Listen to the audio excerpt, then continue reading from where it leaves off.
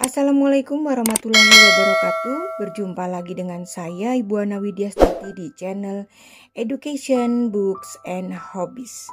Hari ini saya akan memperkenalkan dan merekomendasikan buku saya yang berjudul Kisah Teladan Para Sahabiah Nabi, Putri-putri Mujahidah Penghuni Surga. Penulisnya saya Ana Widya Stuti dan penerbitnya Quanta Kids. Dan kisah teladan para uh, sahabiah Nabi ini saya susun dari hadis Nabi, kisah fadilah amal, dan tausiah dari para ustadz yang disusun kembali sehingga mudah dipahami. Nah ini saya bacakan belakangnya.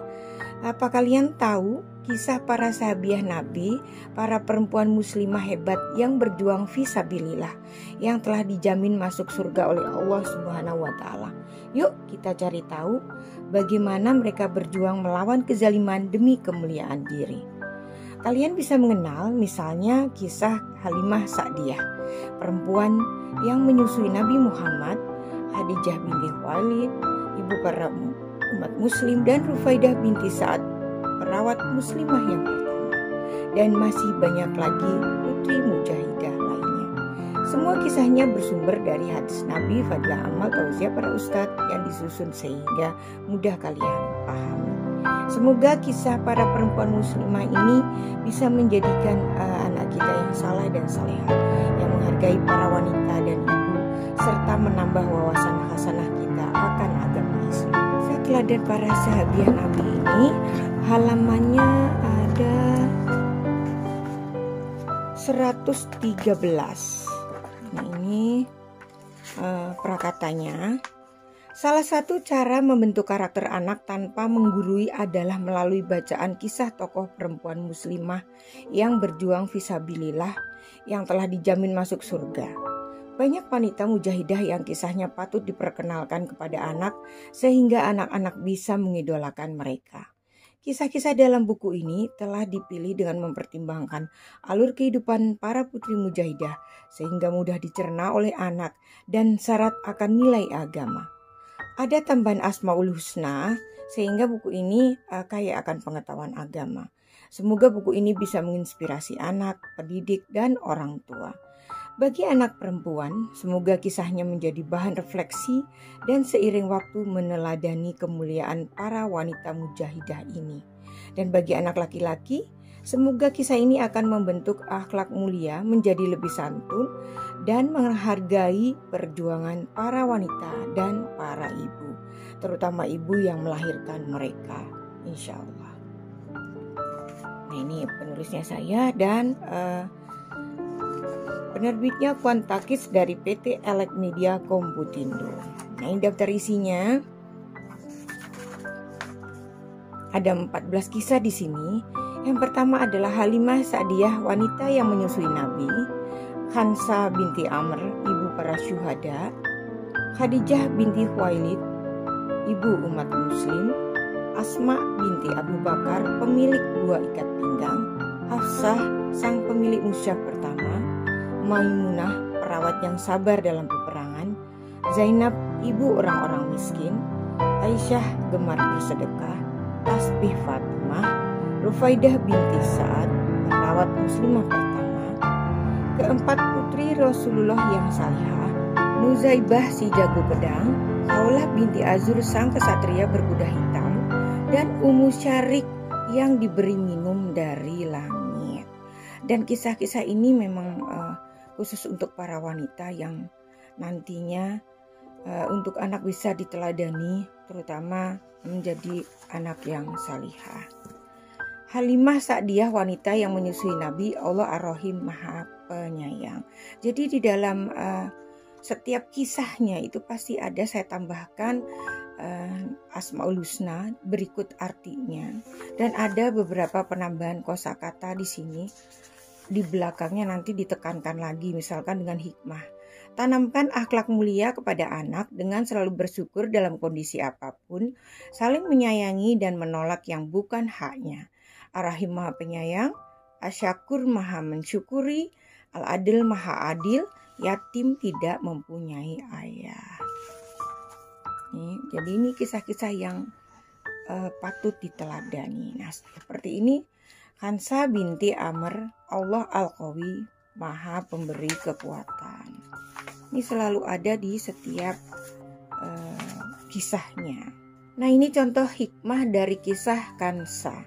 Adalah seorang ibu yang luar biasa perannya terhadap putra-putranya.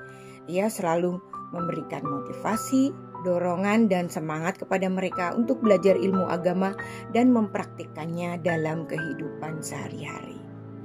R.HA karena anak-anak ini merupakan kosakata jadi banyak yang belum tahu di sini disebutkan R.HA artinya uh, singkatan dari radhiyallahu anha yang artinya doa yang disematkan kepada para sahabat perempuan Rasulullah Shallallahu Alaihi Wasallam yang ber, berarti atau artinya semoga Allah selalu meridhoi.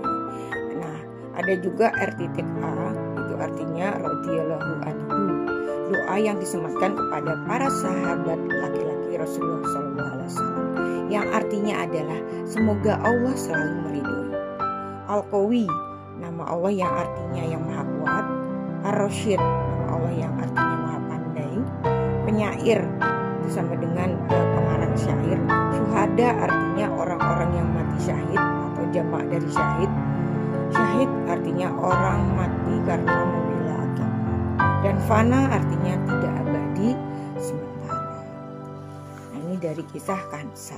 Kemudian dari kisah Khadijah binti Khuwailid, ibu umat muslim. Ini uh, Allah Al-Majid Maha Mulia.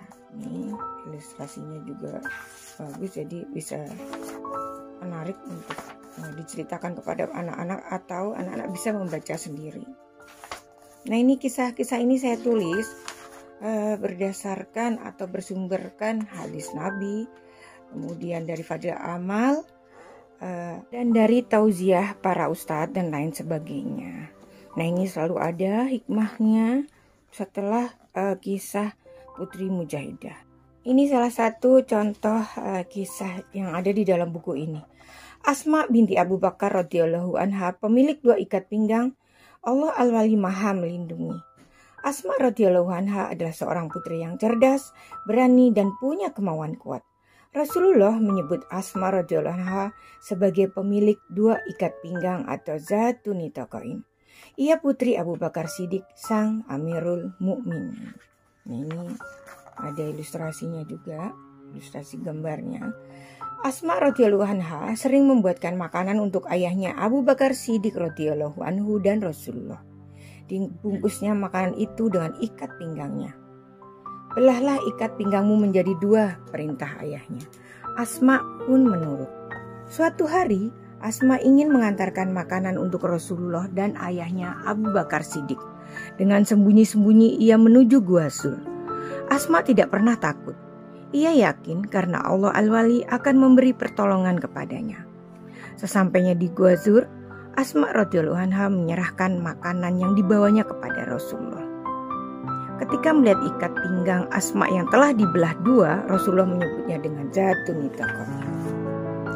Asma radhiyallahu anha memang seorang yang pemberani. Ia ingin membela umat Islam. Di balik lengan bajunya, ia menyimpan senjata. Asma radhiyallahu anha dikenal juga sebagai seorang penyair dan pengarang prosa. Dalam perang Jamal, Asma melantunkan sebaik syair. Esok datang Ibnu Jarmus bersama seekor kuda penuh semangat di hari kegembiraan meski tanpa nyanyian. Ilustrasinya lagi ada hikmah juga di sini. Ketika Asma sakit, seluruh hartanya ia berikan kepada orang-orang miskin. Berinfak dan bersedekahlah pesan Asma radhiyallahu anha selalu kepada anak dan keluarganya. Beliau sungguh berhati mulia dan dermawan. Nah ini ada hikmahnya, selalu berbuat ikhlas, dermawan, berani demi kebenaran. Yakinlah untuk selalu minta pertolongan kepada Allah saja.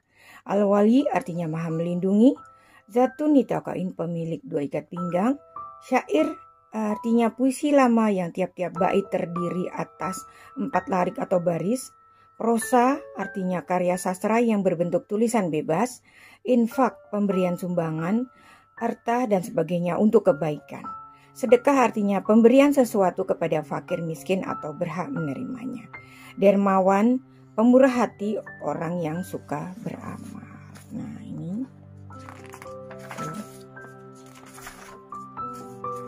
Cukup bagus untuk uh, menjadi kasanah uh, kosakata atau perbendaraan cerita di rumah. Jadi uh, Anda bisa menceritakannya kepada anak ataupun anak-anak bisa membaca sendiri.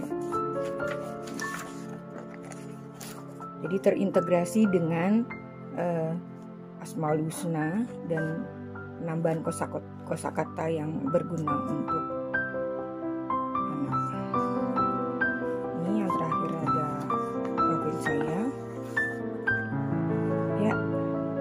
cukup sekian uh, rekomendasi dari saya.